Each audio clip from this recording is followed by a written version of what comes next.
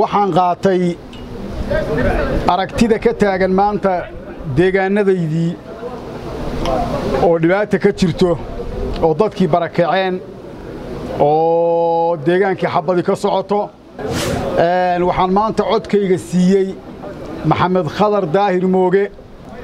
Anigoo deegaan ahaan iyo qabiil ahaanba waxa weeye lahayba yaasiin xaaji maxamuud xiir faratoon xildhibaan nuuraddiin axmed dayib oo ka mida mudanayaasha golaha wakiilada somalilan islamarkaasina ay isku deegaan ka soo jeedaan.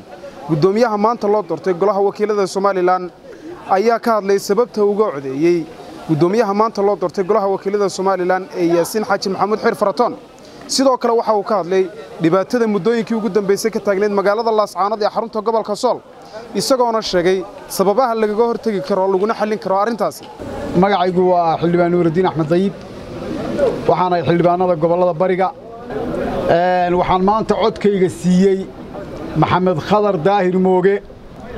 Anigoo deegaan ahaan iyo qabiil ahaanba waxa weeye lahayba yaasiin xaaji maxamuud xiir faratoon. Run ahaantii waxaan qaatay aragtida ka taagan maanta deegaannadaydii oo dhibaata ka jirto oo dadkii barakaceen oo deegaankii xabbadi ka socoto oo xaaladdaas adagi ka taagan tahay laba sinaariyaanuna ku kala shaqaynayna runtii oo kale ah. Dadkaas deegaannadaas ee dhibaatadu ka dhacday hawshooda iyo xalkooda waxaa lagu qaban karaa wadahadal is-afgarad heshiis muqaysi walaalaysi iyo sinaariya ah awood baannu u adeegsanaynaa. Oo waxaa weeye mataqaanaa xoog baannu ku qabanannaa qolyaha aaminsan xoog baannu ku qabanannaa waxaan rabaa inaan halkan uga caddeeyo maalin kasta oo xabbad laascaanood lagu sii ridaa dadka deegaanka laascaanood inay sii fogaadaan mooyaahna soo dhowaan maayaan. Walaalayaal xabbadi xal maaha dadku waxay u baahan yihiin. Wadahadal bay u baahan yihiin. Dhibaataa meesha ka dhacday. Dhibaatada cidda geysatay waa la garanaya waa laisla ogyahay. Waxaa loo baahan yahay dhibaatadu markay dhacday in sulxi ka dambeeyo. Haddii aan sulxi ka dambaynna waxa weeye de dhibaatadu inay sii korodha mooyaahine haba yaraatee haba weynaatee. Waxba mataqaanaa maxaan kuu sheegaayey masoo kama soo naasacadda run ahaantii in lay dhaliilo in lay maago. In dadka kuwa halkan jooga ay ugu maagaan yaasiin maxaad u raaci weydey waa sababta aan mataqaanaa maxaan kuu sheega u guddoonsaday dadka inta aannu isku fikirka ka nahay dhibaatada meesha ka taagan. Waxaan u malaynayaa gobolka soolan waxaan ka tegey anigoo joogaa dhibaatadu ka bilaabatay. Dadkii ay dhibaatadu ugu bilaabataan ka mid ahaa muddaan joogay muddadaa aan joogay waxa weeye gobolka de waxa weye dhibaataa ka socotay bal maalin un in xal la helo baan mataqaanaa maxaan kuu sheegaa wax la yidhaahdo eegannay markaan aragnay inaan xal ka soo socon naftayadaannu ka badbaadsanno waannu kala tagno waxaan aaday meesha la deegaanka la buuhoodlaan aaday buuhoodlaan muddo saddex bilood muddo afar bilood iyo jarjar ah aan joogay. Run ahaantii dadkaas waa dad qaxay carruur dhallinyaraah oo iskuulladoodii ay xidhmeen. Waxa weeye dadka mataqaanaa qaxay ee qaxoontiga noqday dhibaatooyinka haysta.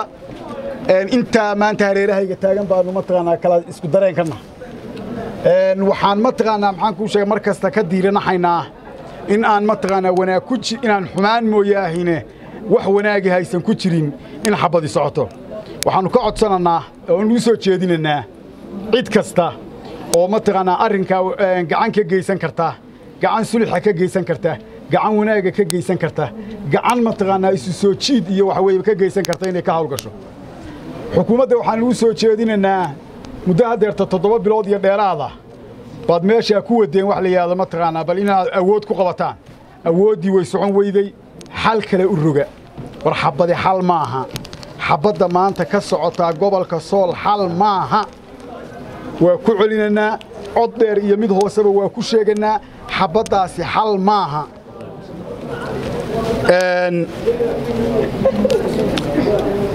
Waxaan mataqaanaa maxaan kuu sheegaa la aragti ahay. Walaalahaygaan mataqaana maxaan ku sheegay isgarab taagannahay waxaan la mabda ahay. Waxa weeye wax alla wixii mataqaanaa sulux wanaag lagaga gaadhayo deegaanada. Baan mataqaanaa kala mid ahay. Waxaan rabaa insha allahu tacaalaa warkan warkayga idinku xiga. Hadduu alla idmo wuxuu noqon doonaa anigu waxaan la danahay.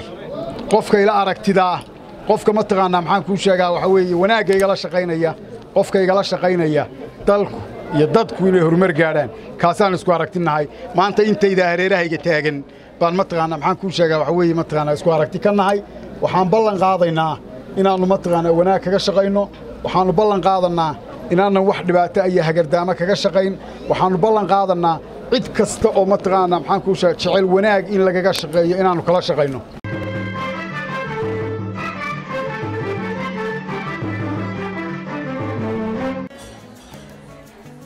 واو اسبوع كيسو في عايز صاحبي waad ka heshay sooma ما شاء الله صح ما عادش بسيط waxaan ku shubtay xidhmo furan toban doolar baad ku shuban kartaa shan baad ku shuban kartaa shan iyo toban baad ku shuban kartaa labaatan baad ku shuban kartaa